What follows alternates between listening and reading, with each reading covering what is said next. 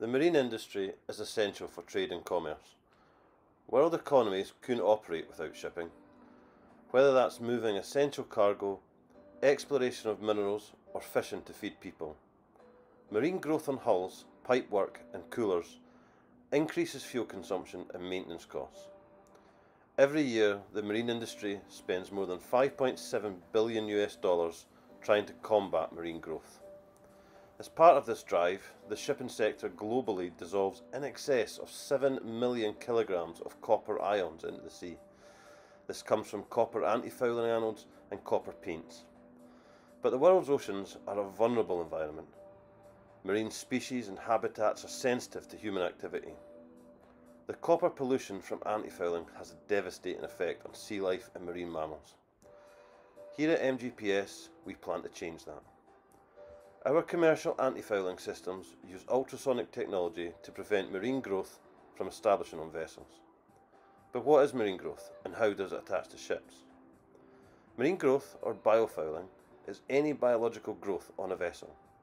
It can grow in the hull, in the seawater system and in coolers.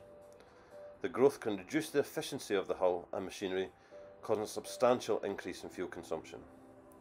It is also difficult and expensive to clean off the ship especially if it infests pipes and coolers. So how does ultrasonic anti-fouling from MGPS work? Various species of marine growth start off as larvae and seed suspended in the seawater. They float about until they come into contact with a suitable surface to attach to. They are very sensitive to the environment though and require several criteria to be in an optimum condition before they can colonise and grow on the surface. These criteria can be water temperature, salinity, light levels, and of course a stable surface on which to attach to. An ultrasonic anti-fouling system transmits ultrasonic sound waves into the surface being protected. By doing this at exactly the correct frequency, the waves cause a resonance response in the protected surface. This causes the surface to vibrate, which causes that suboptimal environment for the larvae and seed to attach to. It really is that simple. The complicated part is getting the acoustics just right to cause that vibration. But through research and development, our electronic controls and software are able to do just that. Some legacy ultrasonic systems, who were put on the market before the science was really understood, claim that the anti-fouling is caused by cavitation on the surface caused by the ultrasonic waves. This isn't true.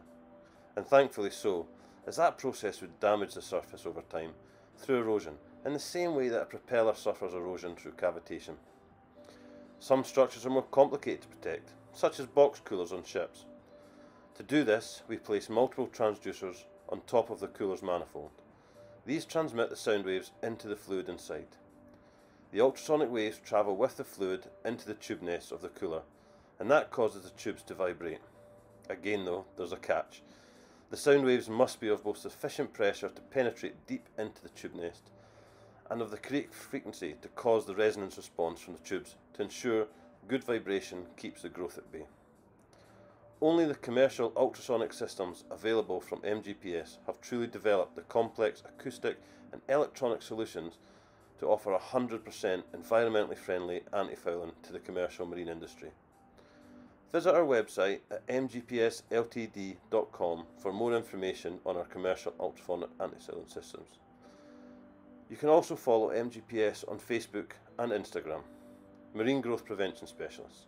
Clean ships, clean seas.